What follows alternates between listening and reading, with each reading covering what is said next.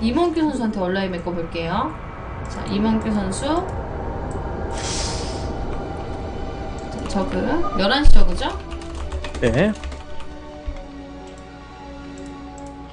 김성 선수는 7시 테란.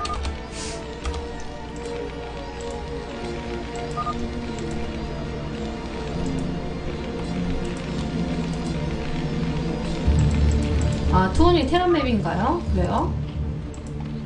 자, 승자전은 김명훈 선수가 올라왔습니다. 그렇습니다. 일단은 근데 지금 일단 오늘 rematch가 상당히 많이 나오네요. 네, 그러게요. rematch가 굉장히 많이 나옵니다. 또 임홍규 대 김성현 rematch인데 지금까지 rematch를 한 경우에서 도재욱 대 김재훈에서 김재훈이 이겼었는데 최종전에서는 도재욱이 이기고 네. 그리고 또 누구 누구였죠?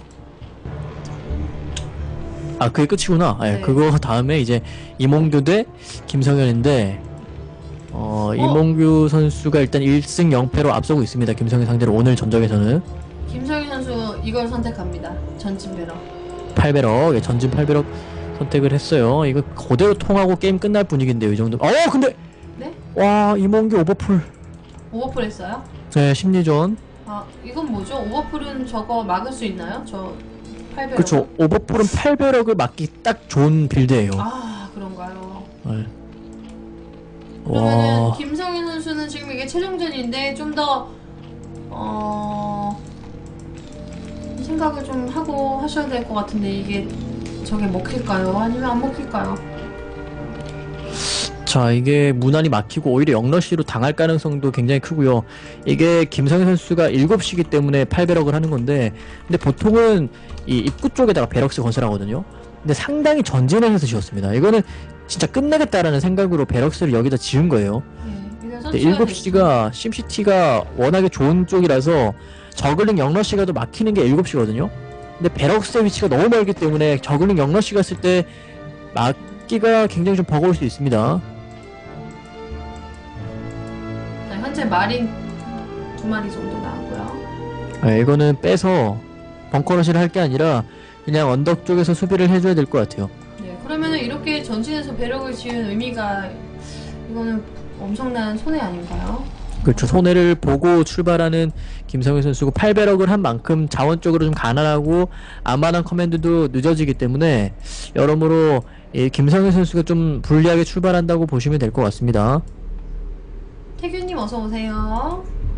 자, 근데 임홍규 선수도 오버풀이기 때문에 똑같이 가난한 건 맞지만 이 8배럭에 대해 전혀 아무런 피해 없이 막아줬다라는 거. 그리고 barracks가 굉장히 전진돼 있기 때문에 어, 자 그냥 달려듭니다. 이거 어, 이건 무리인 것 같은데요. 자, 컨트롤, 컨트롤, 컨트롤, 컨트롤. 아, 어, 어, 마린 한 마리가 적을 해서 일단은 소모전이 펼쳐졌고요 이쪽에서. 네, 저그가 꽤 잘 싸웠어요. 저걸링 다섯 마리 써가지고 마린 세 마리 줄였으면. 저 정도면 잘 싸웠고 그리고 정찰 SCB까지 커트를 했고요. 자, 근데 자 김성현이 이 들어가면 불리하다는 거 알기 때문에 바로 치즈러시거든요. 해철이 지어지고 성큰 아- 없는 타이밍에 갑니다 치즈러시. 이거 네, 끝내겠다는 거예요. 아니면은 지거든요 김상현 선수. 그쵸. 약간 좀 불리하게 뜨- 불리하다고 판단한 것 같습니다. 아니면 끝낼 수 있다고 판단한 것 같아요. 네. 자, 근데 미리 나가서 마린 몇 대 때려주고요.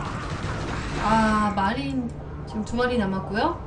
자, 성큰 짓는 속도가 너무 늦어요. 네, 자 벙커. 어. 벙커 지으면서 자 추가적인 마린이 지금.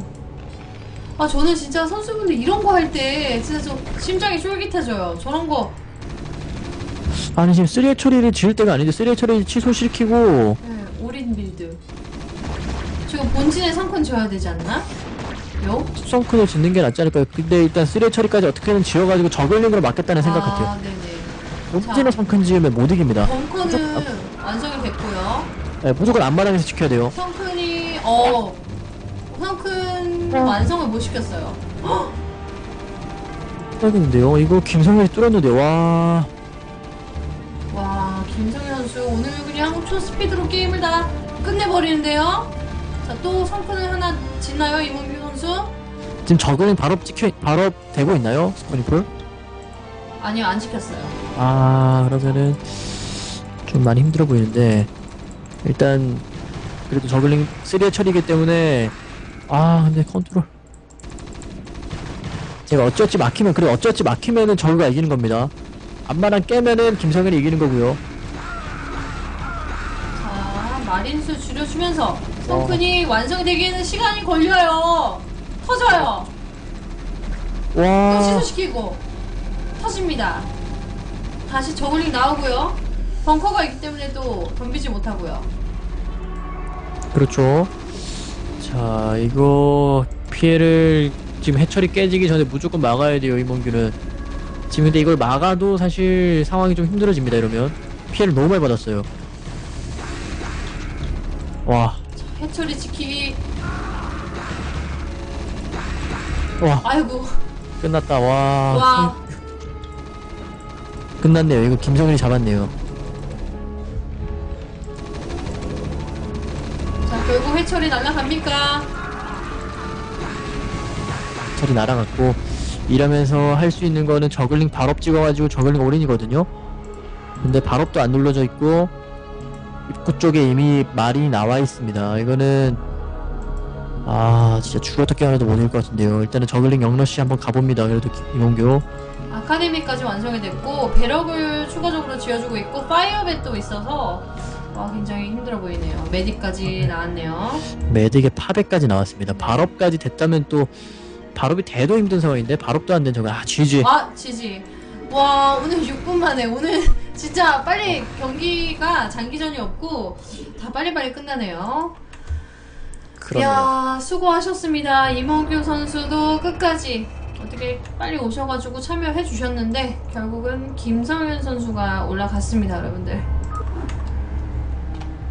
자 수고하셨습니다, 여러분들 선수분들 너무 수고하셨어요.